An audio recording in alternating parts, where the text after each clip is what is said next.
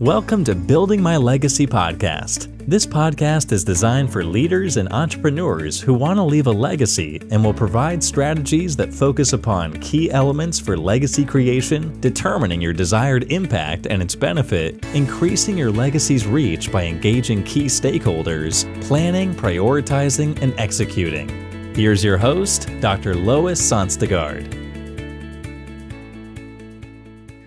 Welcome, everybody, to today's Building My Legacy podcast. I have with me today Tim Keen. Tim Keen is interesting in that he comes from the big drums in a rock band. He comes from Melbourne, Australia, lives in LA, and he's a marketer. So he's gone from the big band to uh, marketing. Here's what's interesting about Tim he had his agency has grown 10 times in the last two quarters. He about 60% of his clients have received funding or been acquired in the last year. Great results. And 90% have increased their revenue by at least 100%. He is focused on high growth within the e commerce area and building those brands. And so, Tim, I want to talk with you a little bit about why marketing from playing in, in bands and touring with bands and moving to marketing. Quite a switch. so what brought brought that switch about for you? Great question. So I think I mean I think initially is the same motivation that most people feel. I mean the the deep secret is a going past. The deep secret about being in a band is that no matter what level you're at, even if you're really successful, like we weren't really successful, but we were touring the world. We were like going to Europe four times a year. We were playing major festivals and stuff. I made less money doing that than I made like when I used to work in fast food or when I used to work in a grocery store. Like there is no money to be made in it. It is not, you are the product. Like the band is the product at the end of the line and everyone else is going to get a chunk of that before you get to market. So ultimately, like there really isn't much profit in the industry, and and it it's very challenging. It's it's difficult, and I think I moved to LA. That was my first experience of America. I was like, okay, I need to figure something out. I need to learn how to make money now. And I figured out that, like, obviously, the, and I think this remains true, the best way to make money is to make more money for someone else. It's obvious. And so I was just like setting about how I could learn to do that. Like, how can I learn to do that without going back to school, without uh, massively changing my career? I have a certain amount of technical, intellectual knowledge, but I didn't have any like specific knowledge. And, but I am good at learning really quickly. That's, I would say, my main skill. And digital marketing, how I, my experience has been that digital marketing is a home for kind of oddballs who know how to learn really, really quickly because the industry is constantly changing. You have to be relatively addicted to the internet. You need to have an understanding of consumer behavior and be able to kind of integrate information quickly. And I just took to it. Like it's just, I was just like, oh, okay, I know exactly how to do this. I can just keep reading and just going to the internet and then get better and better and better at this. And you can see results in real time because you're driving revenue for people. So I was just like, just fell into it. And it's funny because I, when I started hiring about six months ago, I hired a couple of people. I hired some people who had a lot of marketing experience, and I had a couple hired a couple more people who were in bands as well. And the band people are massively outperforming the marketing people. They've learned faster, they're driving more growth, delivering results for the business. And I think the reason why is because we're really used to high stress, high stakes environments. We are just used to being working all the time. We're used to adapting to new environments and picking up new skills very quickly. We're used to having to give value before we get paid. Uh, all of those things that are like really essential to a marketing career just come naturally to people who have had who've been in a band or done some sort like worked at a bar or anything like that like it really does help it makes it easier to do this job it's been it's been remarkable to see. So you've only been in business as a marketer for three years. Is that correct? Yeah, I made my first dollar online. I think I just posted this the other day. I made my first dollar online February February 11th, no, January 11th, 2018. And between then and now, I have driven probably $20 million for brands. My team has driven 100 million. Okay, so what are some of those brands that you have worked with? Are they brands that we would know? So most of these brands, there are a couple of high higher end brands there, but the vast majority of them, I would say, are in the middle range of startups. These are brands that are doing in e-commerce revenue between fifty and three hundred thousand dollars a month in e-commerce revenue when we find these brands. So what our challenge is is some of them you might have heard of if, if you're deep in the D2C world. Uh, Trophy Skin was a big success of mine. Hammitt Handbags did very well. Grassroots Co-op, still a client of mine. Um, that's they're in the D2C world. There are a few, most of them you probably would not have heard of because they they're very niche audiences. So what the game is with these brands is, say you have something that's working at a limited scale. You have you have a brand that's doing 50k a month. You have a brand that's doing 300k a month.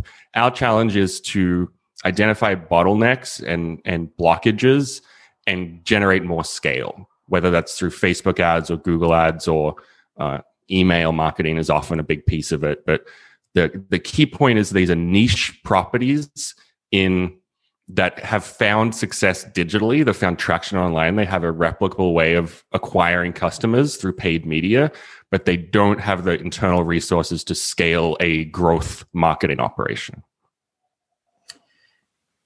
so, when you're involved in a growth marketing program, what does that involve for you? I, I hear um, email, I hear ads, right? Um, it's, I'm guessing there's a combination of that. Do you create the ads also as part of your agency, or how do you go about that? Well, it's a really good question because I think a lot of people get stuck on like what is growth marketing because it's it's very nebulous sounding, but really it is building a process around driving growth. So it's building, it's identifying what your key metrics are. Revenue is always a key metric, and then metrics that fold up into revenue. So metrics that we would look at all the time would be a metric like cost per new customer. How much you paying to acquire a new customer? Customer lifetime value how much is that customer worth to you over the entire course of your relationship with that person um, mer media efficiency ratio how much money are you making compared to how much you're spending on media uh, ROAS is a kind of a, a, a, metric that is not as useful as it used to be, but we'll look at that. So we'll identify these numbers and build processes around driving optimization and growth in those metrics. So, for example, email is an amazing place to increase your customer lifetime value. Once you've acquired a customer, you can add value to them. You can up- upsell them new products. You can reach out to them if you think they're going to churn. You can send SMSs to them. You can send them customer reviews. But each one of those tactics on its own doesn't do anything. Well, you need a process for identifying which is the best tactic to operate at any point in time and then implement, measure, and iterate on that. And that's the feedback loop that we build for, for, for brands. Got it. So, why did you choose e commerce as your focal point? I got interested in e commerce. I think early on it was because, well, I, I fell into building websites. I really liked building websites. I had I had when I was a kid, I learned how to build websites, and e-commerce just was was exploding as I was coming up. I it was what I knew. I knew more about products. I understood the idea of a product. I, I didn't have any experience in B two B services, so I looked at okay, how can I learn to do this? And I got very excited. I initially learned WooCommerce and WordPress and built there, but once I went into an agency, got my first taste of the Shopify ecosystem, I was just like, oh, okay, I'm home. This is beautiful. Because as someone who's been building websites for 15 years, it has never been this easy to build a website. it is so easy. You can do it like whoever you are, whether you've never done it before or not, you can do it in an afternoon. Like it's so easy. It's so easy to make a nice website. It's so easy to use baseline, like well optimized business functionality. And Shopify is just such a robust product. It is they've done a really good job of of integrating core functionality into the product so it doesn't break. Like I'm sure people on this who are listening to this have experienced in their careers working on websites and crashing the server was always like a a big thing. It was like we need to have a developer on hand. If we want to make updates, we're going to crash the server. Like the website's going to go down. And there is just it's not going to happen anymore. It's just not a Shopify site will not go down.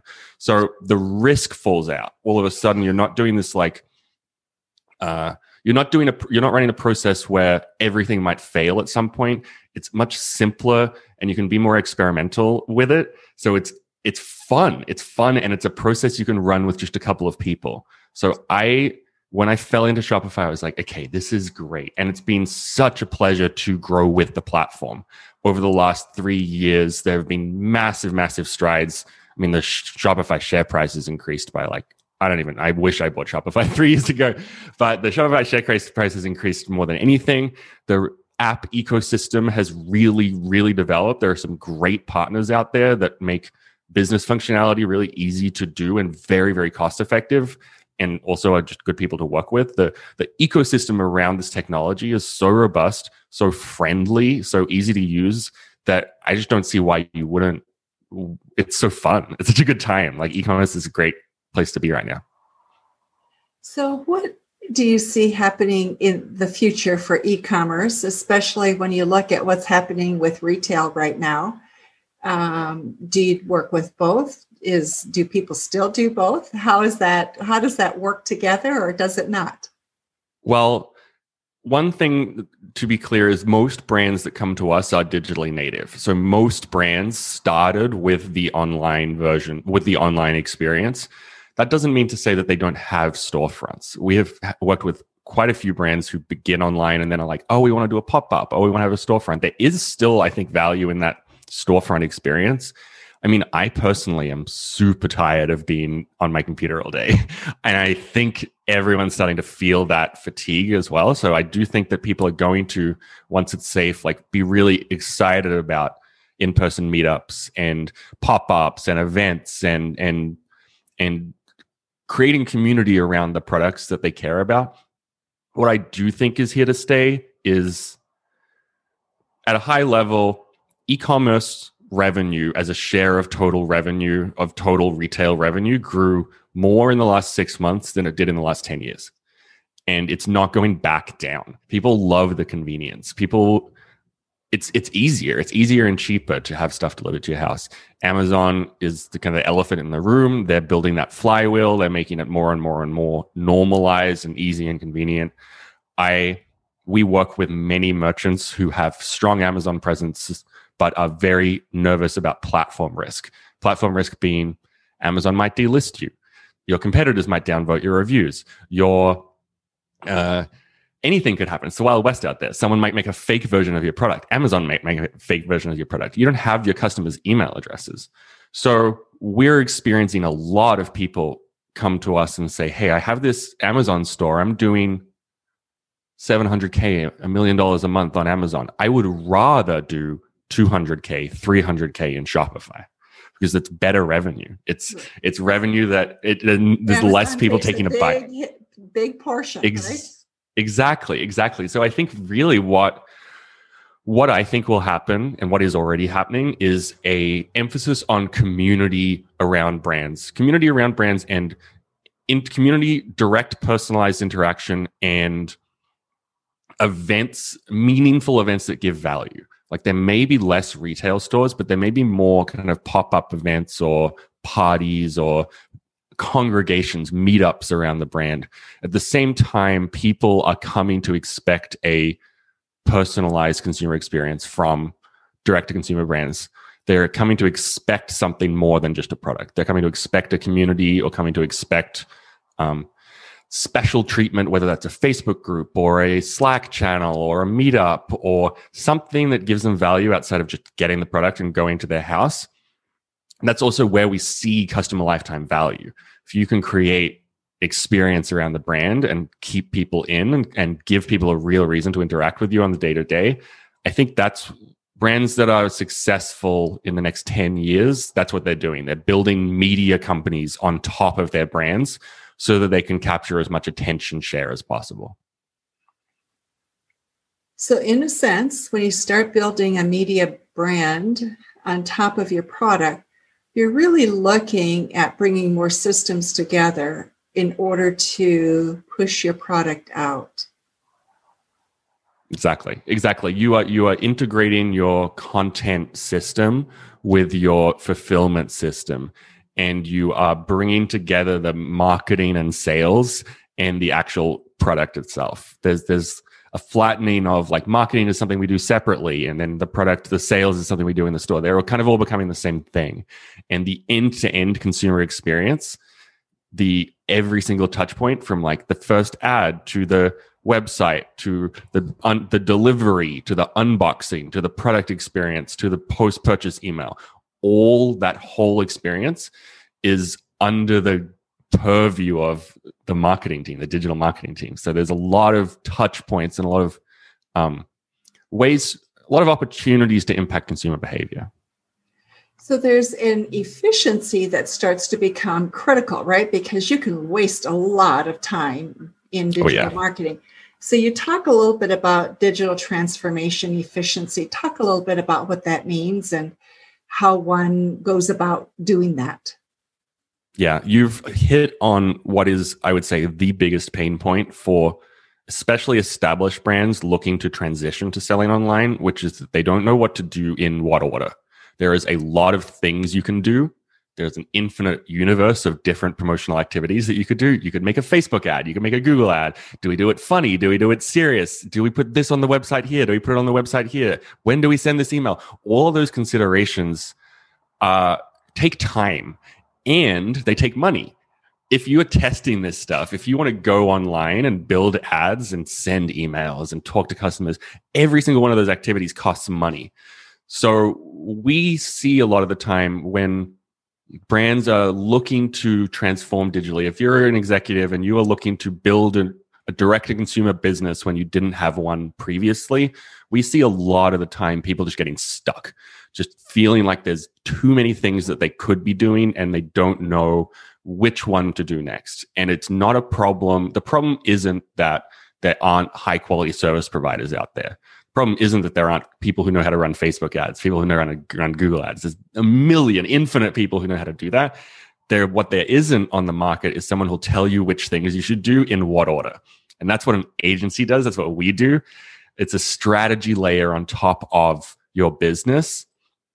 And everyone's looking for that because of that exact thing. And, and, we as a content speaking of content what we're trying to do is really simplify and make that process transparent. It doesn't need to be super complicated. I think most most teams spend more time thinking about this than they need to. And ultimately you learn a lot from just doing and, and moving quickly and iterating and the cost is so low.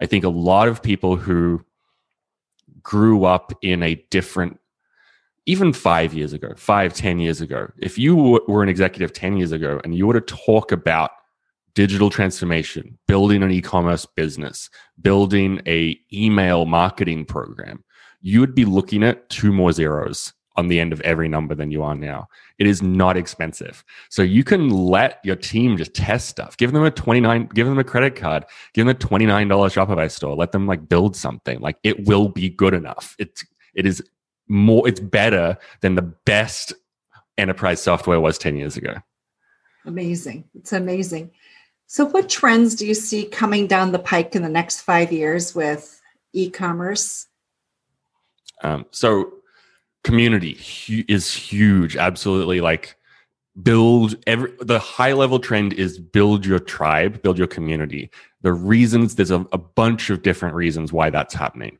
one is increase in cost of new customer acquisition. This is a big talking point.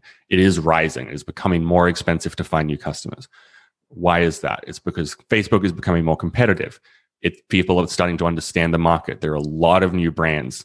Every brand is trying to pivot to online. This means that the kind of middle tier of brands that don't don't have an audience, don't understand their customer lifetime value, they're going to get washed out. It is it's relatively expensive to acquire customers. The days of 10 years ago, you could go on Facebook and you could find a new customer for two bucks, three bucks, five bucks. Nowadays, that same customer might cost you 40 $50. So you need to have a product selection that appeals to people over a longer time span. You need to have a relatively high average order value and you need to build a community. Like, why should people come back to you? What do people care about with your products? The other thing that it should be on everyone's minds is the death of the third party cookie and tracking in general. So we are all used to an ecosystem where all of our activity online is tracked. And Facebook in particular, Google also quietly uses that data to serve you very, very hyper targeted advertising. We as advertisers benefit from that by getting cheap clicks. Basically, our ads are shown to people who are exactly in the right moment, ready to purchase what we're selling because of all of this data that Facebook and Google has on us. The secular trend is away from sharing customer data with large Facebook and Google sized companies. Apple has put a, a line in the sand. They've said like it's going to be much, much, much more difficult to track users on Apple devices. Google is phasing out the third party cookie. Facebook is already talking about the fact, the idea that the pixel will be phased out. So this is all going to take time, but this is a seismic shift in the way that we do marketing. This will mean a return to fundamentals in a really, really serious way. So fundamentals being please? The value proposition. What is the value that your product genuinely provides to people? How clearly and succinctly can you uh, get that value proposition across? What is the quality of the creative? The creative is going to matter. Creative already matters way more than people think. Creative being like the literal ads that you show to people, that already matters so much. And people think about it as like a, oh, we'll figure out the creative later. No, it's the most fundamentally important thing uh, if you take half your ad budget and put it into creative for one month, you'll make twice the money, guaranteed. Just just optim like high quality customer experiences, speaking to people on an emotional level, talking to customers, figuring out what they need, and solving those problems in a relatively low tech way. Like it's not going to be as much about gathering infinite data points um, figuring out exactly the right metric number. It's it's going to become much more rough math and when you're doing rough math, you need to be very like, what does the customer want? Am I providing it for them? Very simple. I'm happy about this change. Uh, we are lucky in that we are right in the right time as an agency where we're very, very agile because we're small enough and we are also very fast learners. So we're a little bit ahead of the curve. So I'm not stressed. But if you, if brands are not thinking about this this now, they're going to get left behind. One of the things that you talk about is you like to work with companies that have similar values systems. So, what kind of values do you look for when you agree to work with a company? Uh, so, we are looking for what we call purpose driven brands. And I know that's a little bit of a kind of generic term, but what what we've found is that it self selects pretty nicely. if you come and you say, "Hey, I think I'm a purpose driven brand," you probably are probably close enough, or at least you're in the right ballpark for us to have a conversation. If you come to us and you say, I'm not a purpose driven brand, I'm, ex- I'm explicitly not, it's probably not a conversation that we want to be having. That's not to say you won't find success in the market. Uh, it's just, it's not necessarily a fit for us. So we are looking for people who are interested in paying their employees as well as possible, who are interested in uh, pro- have progressive values, who are uh, kind of who feel compelled to make the world better, whether that is through their product or through other work that they do around their kind of general being in the world. That's that's really the consideration for us. It's it's would we feel okay about telling our kids that we marketed this product? Would we feel okay about telling our friends that we marketed this product? How well? And then the other part of that is the first piece. Then the other piece is like, what are you what is the client like what do you like? And i think people forget about this a lot and the best agencies are very very particular about who they let into the business because it's such a long-term relationship. We've been working with some of these clients for like three years. Like i talk to these people every week. I talk to these people more than i talk to my parents. Like the agency client relationship is it's like a marriage and like you want to make sure that you're just on the same page, that you get along, that you're respectful, that you uh, have common visions, that you have shared goals, and you have a shared understanding of what it's going to take to get to those goals. Not to say that that's always clear at the start of an arrangement. It's something that you kind of tease out over time, but it is important that we're, that there is a, a real alignment um, with brands that we work with, and and and we're very very intent on on keeping that. So for you, the future, you've been growing fast. What do you see for yourselves in the next three to five years? What will your your company look like? Loop Club is is what this is called. So what will Loop Club look like in five years? It's really hard to say. It's I mean, it's it's in a really interesting point now where it kind of could be anything. It could be anything. Like the, it, it's such a strong team. It's a very very strong team that really know how to sell products online, and we I think in the next three to five years we can we can get to really whatever scale I think that we all want to get to. I think there's opportunity to. Yeah, I, I, I, I can see us getting to a 30 to 50 million dollar business with without really changing the course that we're on but the key is what what are we letting in what are we allowing to happen and i think that's where it's going to get really interesting we have some clients that we work with right now who i can we could very easily double their business in the next year and that already opens a whole world of opportunities who else do they work with? What other products do they want to bring to market? Can we enter in joint ventures? There are already some people who are doing some interesting work around bringing, like having us kind of more deeply manage the stores. I think I can imagine us in three to five years being uh, having more of an ownership stake or being closer to the actual store itself. It's very easy transition to make from serving a client to serving ourselves as a client and kind of building that infrastructure and having having a stake in the things that we build, that's something that's really, really interesting to me. Got it. Okay. So we are almost out of time, Tim. Things that we have not covered that you would like to make sure we leave with the audience. This was really great, and I appreciate your time. If if people are interested in chatting, I'd love to chat to love to, love to chat to anyone. You can find me on LinkedIn. That's the best place to find me to send me a message. I'm more than happy to chat to anyone if you're interested in or having challenges around digital transformation, growing an e-commerce brand, specifically in the Shopify space. Uh, we can certainly help with okay. if you're if you're trying to do that. There is we have a resource for you certainly. So I'd be more than happy to talk to anyone. And for those of you who are listening, we will have information about Tim and his company in the show notes. So you will be able to get information about him. And if you have trouble, certainly contact us and we'll be glad to connect the two of you. So, Tim, thank you so much for being with us today. And for those of you who are listening to Building My Legacy podcast, thank you for joining us. And remember to visit our website at buildtomorrow.com and all of our social media sites as well. Thanks very much. Thank you so much. You've been listening to Building My Legacy podcast with Dr. Lois Sonstegard. To book your appointment with Dr. Sonstegard, visit www.buildtomorrow.com.